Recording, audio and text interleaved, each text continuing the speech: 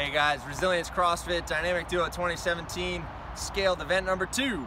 All right, so we're gonna be outside for this one. Really wanna try to um, be outside for this, so unless it's absolutely torrential downpour and just not allowing us to uh, be outside, we'll have a backup indoor event in the back end, but wanna try to see if we can do this one outside. So, here's how it's gonna run.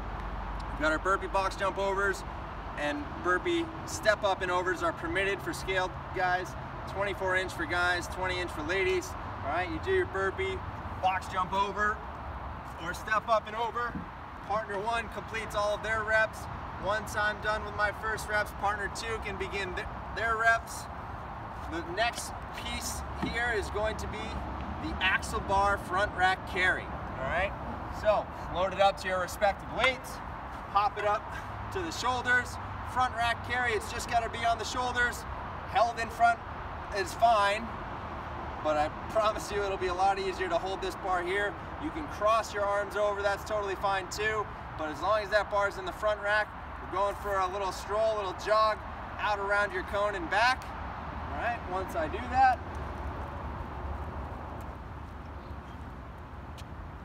and return the bar to your mat. I'm moving back on to my next set of burpee box jump overs. Partner two can then grab the axle bar. Okay?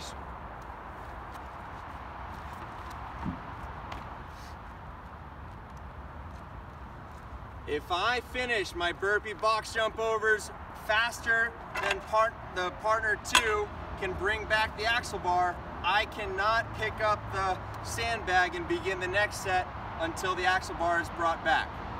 Right? So, assuming that's the case, partner two goes to their next set of burpee box jump overs. I grab the sandbag. For the sandbag bear hug carry, we're picking it up and keeping the sandbag above your waist and below your shoulders. All right, so as long as you're holding it somehow, some way like this, totally fine. Going for our stroll for the 40 yards and back. Okay, bringing it back to the mat. It just can't be carried above the shoulder at the waist, in front of you, above your waist, and below the shoulder. All right?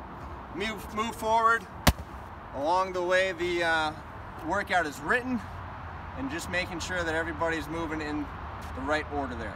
Okay? Go get it.